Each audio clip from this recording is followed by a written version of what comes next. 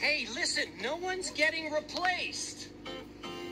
This is Andy we're talking about here. It doesn't matter how much we're played with. What matters is we're here for Andy when he needs us. And he needs us now.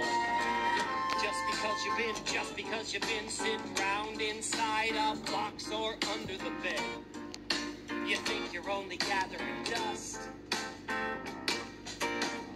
Doesn't mean a thing, doesn't mean a thing. Wipe off that frown, don't worry your plastic hand. We all gotta have us some trust.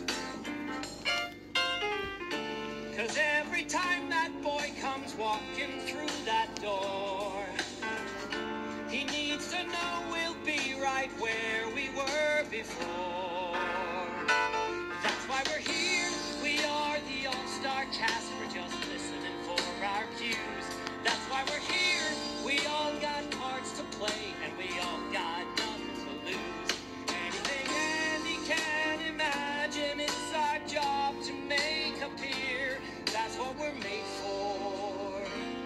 That's why we're here.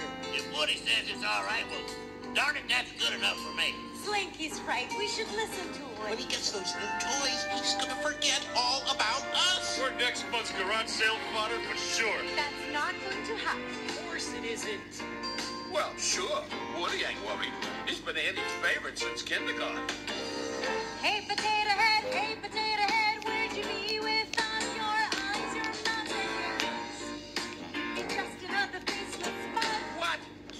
wish you had these lips. They belong to you, we belong to him. No matter what we do, we go where he goes. So don't be such a stick in the mud. You ain't no joyride either, sister. So you're a